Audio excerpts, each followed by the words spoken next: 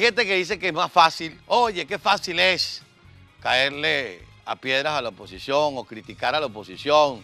Bueno, criticar al gobierno. conmigo no va eso porque yo estoy criticando al gobierno desde el día cero, desde el, día menos cero. Bastante que desde donde trabajábamos le decíamos a la gente que no votara por Chávez. O sea que tengo, y digo esto porque hay gente que, no, porque desde el exterior, bueno, en el exterior estamos cuatro millones y medio de venezolanos. Uno nos vinimos primero, otros se vinieron después, pero igual el, sentimiento es el mismo. Una profunda por lo que están haciendo por el país y una gran tristeza por no poder estar allá. Pero sí, hay que criticarlo, hay que decir que hasta ahora son muy pocos los liderazgos de los factores democráticos y oposición en el país en el cual hemos sentido o nos hemos sentido representados. Eh, hay unos que de pronto pareciera que uno no entiende.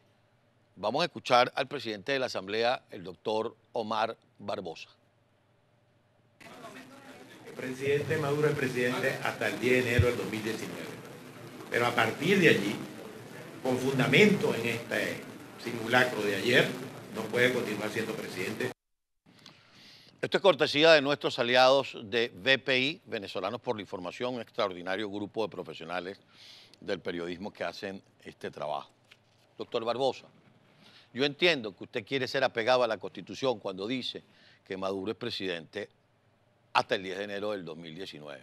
Pero no, ustedes mismos en la Asamblea decidieron enjuiciarlo y que se separara del cargo y hasta pidieron orden internacional de captura desde el Tribunal Supremo de Justicia Legítimo que ustedes designaron, doctor Barbosa. Entonces, ¿de dónde sale que Maduro es presidente hasta el 2019? Maduro, primero dudamos profundamente de su legitimidad en la elección que supuestamente le ganó a Capriles en el año 13. Primero eso. Pero dando por buena esa elección, un Tribunal Supremo de Justicia designado por la Asamblea Nacional, la cual preside mi queridísimo doctor Barbosa, tomó una decisión con relación al antejuicio de mérito de Maduro. Entonces no, no entiendo, no entiendo, mi no entender, mi volverme gringo, porque no entender nada. ¿Cómo es eso que hasta el 10 de enero? No, no, no, desde hace rato desde que se reunió el Tribunal Supremo de Justicia y ustedes convalidaron esa decisión porque ustedes designaron el tribunal, desde ese momento Maduro hace rato, que no es ni presidente ni comandante en jefe de nada. Allá los que se le siguen parando firme en qué negocio están metidos. Por eso decimos que no entendemos la postura de algunos factores de oposición. Yo no estoy diciendo con esto que Omar Barbosa esté vendido ni nada por el estilo, no lo creo. Pero no se pueden estar guardando estas formas, doctor Barbosa. Ayer le atribuían al doctor Barbosa un Twitter diciendo eso. Y en la noche me dijeron, no, parece que le hackearon la cuenta. Pero ese video no se lo hackearon, y la voz no se la hackearon, y la boca no se la hackearon. Ni el concepto fue hackeado. También hubo una entrevista que le hizo La Voz de América, nuestro servicio de noticias, a la directora de medios hispanos de la Casa Blanca, la muy querida amiga y, y compañera Helen Aguirre. Ella se refirió a este tema. Vamos a ver. Nuevas sanciones contra el gobierno de Venezuela llegan un día después de finalizar el proceso electoral por el que el presidente Nicolás Maduro fue declarado reelegido hasta 2025. La orden ejecutiva firmada por el presidente Donald Trump prohíbe a cualquier ciudadano, institución o empresa estadounidense adquirir deuda venezolana, activos o propiedades pertenecientes al gobierno de Venezuela, incluidas aquellas derivadas de la empresa estatal de petróleo, PDVSA.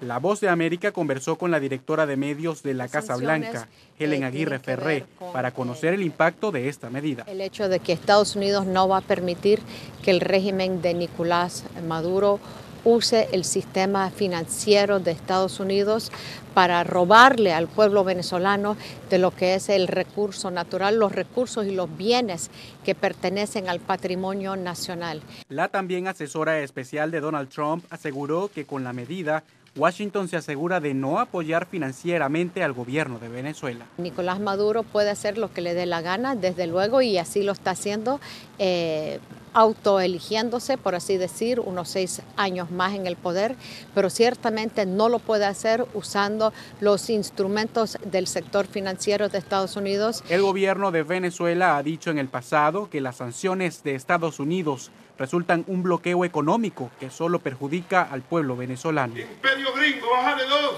Mientras que en la Casa Blanca aseguran que seguirán presionando al gobierno de Maduro con apoyo de la comunidad internacional. Nosotros tenemos el apoyo de la mayoría en la región, en lo que es el hemisferio occidental, así como con la Unión Europea en condenar a Nicolás Maduro, su régimen y el mal que están haciendo con el pueblo de Venezuela. Y eso tarde o temprano tiene su solución que ojalá sea pacífica. Consultada sobre si la administración Trump podría explorar la posibilidad de sancionar directamente a PDVSA, la funcionaria expresó. Nada se descarta. Jorge Agobián, Voz de América, Washington. Gracias a Jorge Agobián, gracias a Helen Aguirre por esta declaración Imperio gringo, bájale dos.